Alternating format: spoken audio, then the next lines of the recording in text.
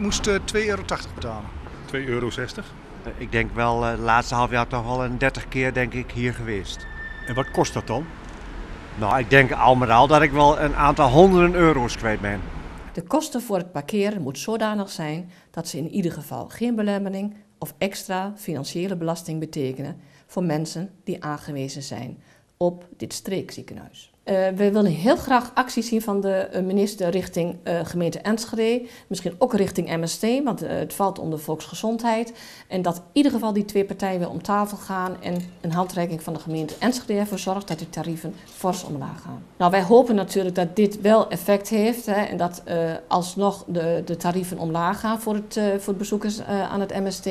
Lukt dat niet, dan moeten we kijken of we nog andere acties ondernemen. En dan zullen we mensen moeten gaan oproepen om echt daadwerkelijk uh, richting MST en, en gemeente Enschede actie te ondernemen. Demonstreren voor de deur? Ja, dat is natuurlijk wel het laatste wat je doet. Hè. Maar kijk, er moet wat gebeuren. Dat, daar zijn we van overtuigd.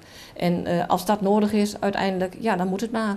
De helft is ook genoeg. Dus, uh, maar ja, wat doe je eraan?